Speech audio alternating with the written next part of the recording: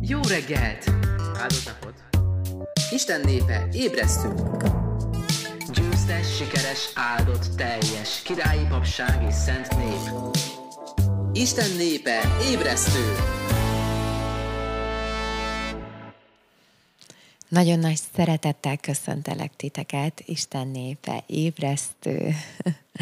Uram, köszönöm a te drága, nemz, a te drága népedet, hogy királyi papság, szent nemzet, megtartása való népét tetted őket, hogy tükrözzék a te dicsőségedet, a te világosságodat, és Istenek ők, Uram, Istenek a fiai mindjájan, és az isteni természeti részesei. Kikerülik a romlottságot, ami a kívánságban van ebben a világban. Köszönöm, Uram, azt, akivé tetted őket, dicsőségessé, szép és nagyszerűvé. Köszönöm, hogy ma is ők lehetnek a világ világosság és a földnek a sója és nem rejtetik el az ő világosságuk, úgy fénylenek az emberek előtt, és bizonyságok lesznek hitetleneknek, hogy valóság Isten, és valóság Jézus Krisztus.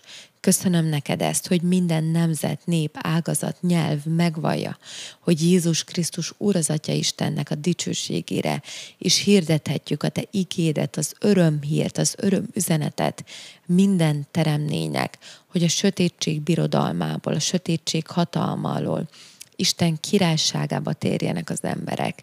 A Jézus nevében. Köszönöm ezt neked, Uram. Ámen. A mai rapszódi címe építs az ő leírása szerint.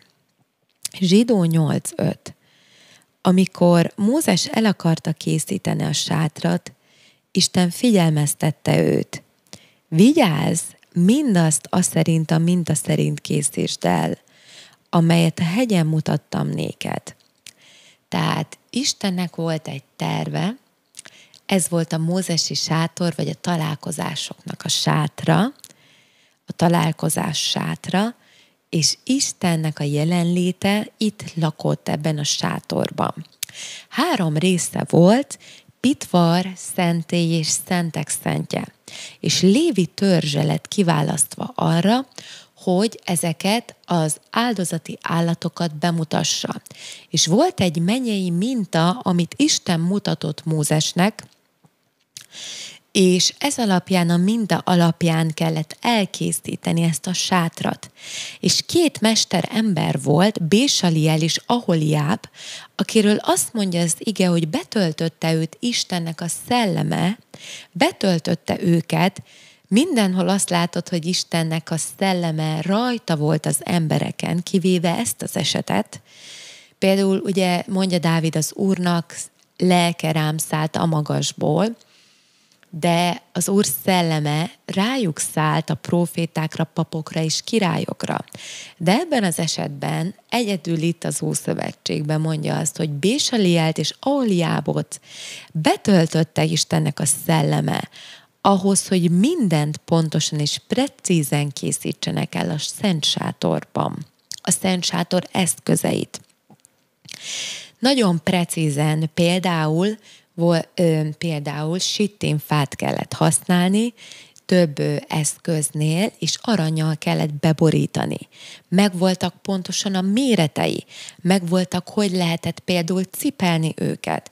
Például a frigyládát voltak arany karikái, amibe aranyrudat ö, ö, tettek be, és meg volt szabva, hogy kik vihetik, voltak a kéhátiták, akik a templomnak, a, vagyis ez nem templom, bocsánat, hanem sátor, a sátornak az eszk, a belső eszközeit vitték, és ezt mind kézbe kellett cipelni, a szent kenyerek asztalát, az illatáldozati oltárt, aztán például a frigyládát kézbe kellett cipelni.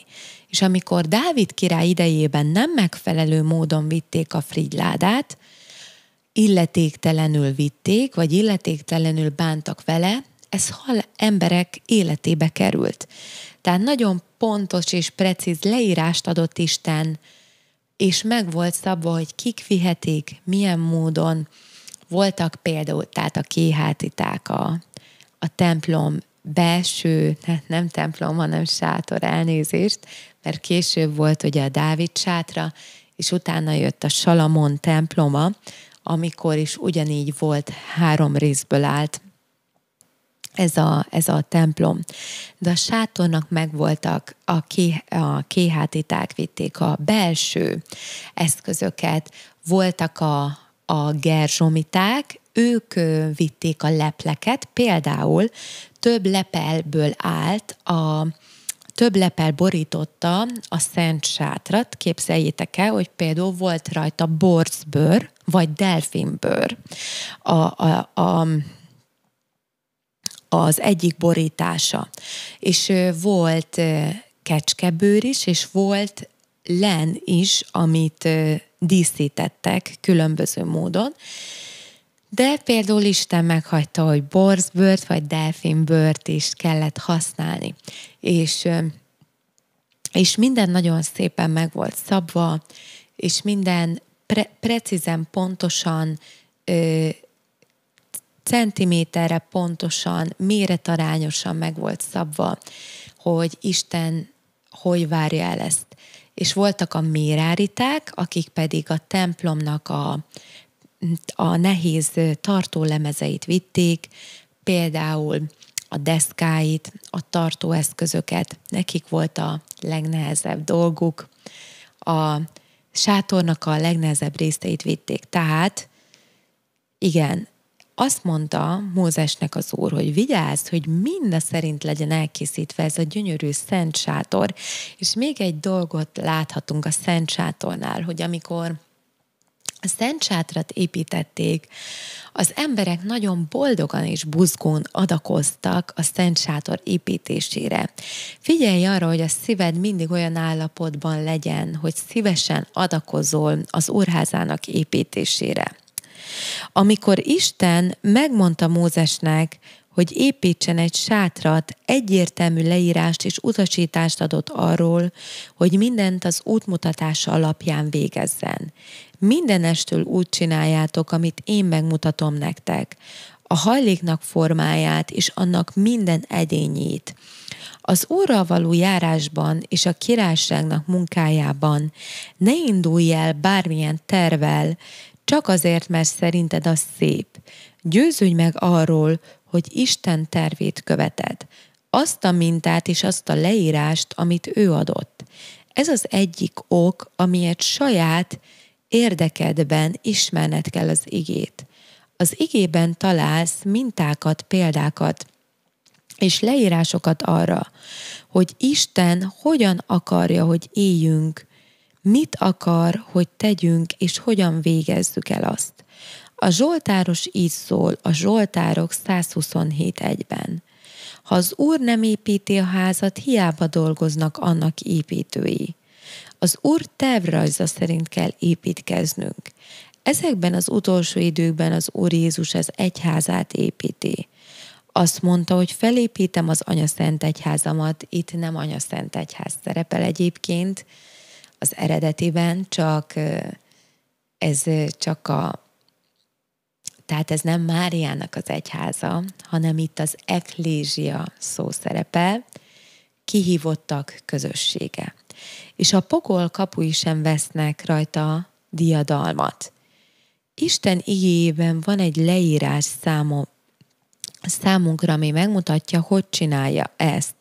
A Biblia szerint ő maga Krisztus adott némelyeket apostolokul, profétákul, pásztorokul, evangélistákul, tanítókul, a szentek tökéletes élet céljából szolgálat munkájára Krisztus testének építésére. Az ő terve az, hogy ezeken a vezetőkön keresztül építsen, de mindenki részt vesz benne, mindegyikünk közreműködik Krisztus testének építésében, akiben az egész test szép rendel, egyberakva, egybeszerkesztve, az ő segedelmének minden kapcsaival, minden egyes tagnak mértéke szerint való munkásságra teljesíti a testnek növekedését a maga felépítése, felépítésére szeretetben. Minden alkalommal, amikor valakit Krisztushoz vezetsz, hozzájárulsz Krisztus testének a felépítéséhez, és ez egy felséges építkezés, halleluja. Folytasd a szereped a lelkek királyságba való megnyerésében. Hozzá fogsz járulni a nagyszerű szerkezeti felépítéshez, a ma megadott leírás szerint. Halleluja, dicsőség az Úrnak. Mondjátok utánam az imát, drága atyám, Köszönöm neked az igét, képességét a szellememben. Az ige megtartója vagyok, és nem csak a hallgatója. Az igében való élet és az ige szerinti életnek eredményei egyértelműen megnyilvánulnak az életem minden területén ma is. Jézus nevében. Amen. Az ige dolgozik benned ma is csodásan, és eredményeket produkál az életed minden napján. Nagyon örülök, hogy velem tartottál. Gyönyörű áldott napot kívánok neked. Isten áldjon meg benneteket. Jó reggelt! Áldott napot! Isten népe, ébresztünk! Győztes, sikeres, áldott, teljes, királyi papság és szent nép. Isten népe, ébresztő!